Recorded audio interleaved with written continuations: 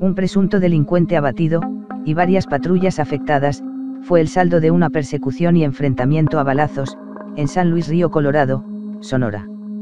Los hechos sucedieron este miércoles, cuando vecinos reportaron una riña entre varios masculinos, en la calle 12 y Avenida Jalisco. Al atender el llamado, una mujer policía fue atacada a golpes, y uno de los participantes se llevó la patrulla, en cuyo interior se encontraba el arma de cargo de la oficial. Posteriormente, en la calle 22, el sujeto protagoniza un choque con un vehículo civil, se baja de la unidad disparando a los municipales con el arma larga, mismos que repelieron la agresión, y abatieron al masculino. Cabe destacar que dos mujeres que viajaban en un auto compacto, fueron atendidas de golpes menores por el accidente, y por crisis nerviosa.